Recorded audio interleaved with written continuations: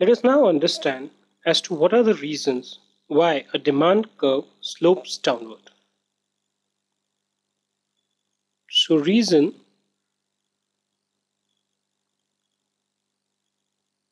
downward slope of demand curve.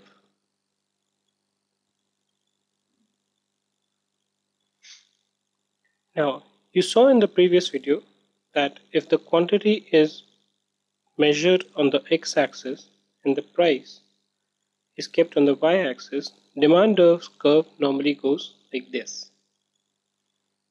Which means that as the price of the commodity falls, the quantity demanded increases. Now what are the reasons? Why does this happen? I'll take them one by one. The first one is the law of diminishing marginal utility.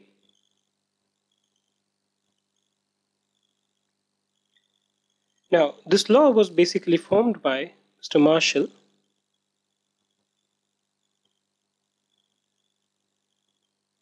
okay now let's take an example. When you are feeling hungry let's say you go to any burger shop okay and you had the time when you get your first burger at that time the value the utility of this first burger is very high for you.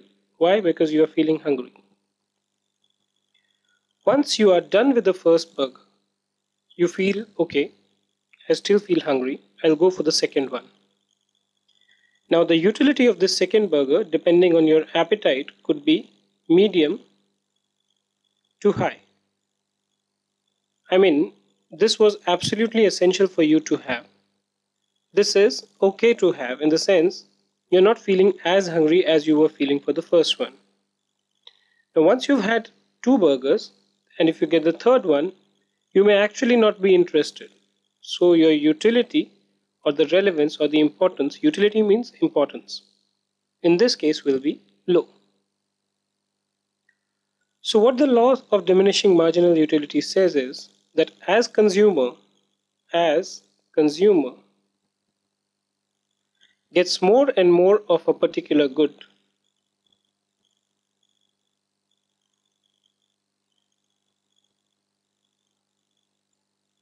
the utility for the consumer for that goes down.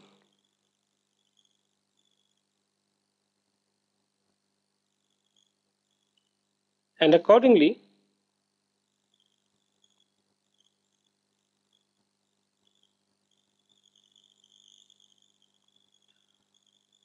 the price he is willing to pay decreases. So just like in this case, for the first burger, even if someone were to ask you that normally it is available for 40 bucks, you have to pay 60, you would have given. For the second one, same burger, someone would have said 60, you would have said, oh no, 60 is much, let me pay 40. For the third burger, if you don't like having it, you will not even pay 1 rupee for that. So therefore, as the quantity of in goods increases, the price payment by the customer because the utility of that is decreasing goes down.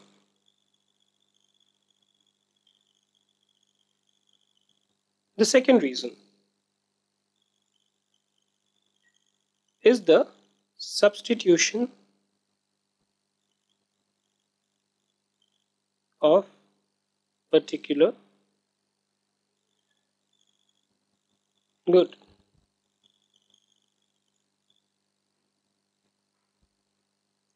Now there are many commodities which can act as substitute of the other. I gave you an example of rice and wheat in some of the earlier videos where I said that when in a household you know a person might be using both rice and wheat okay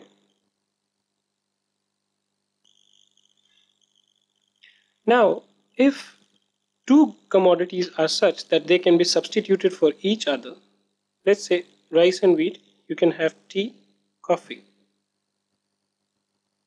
I mean, you can have a tea or you can have coffee. If price of one increases, let's say price increases,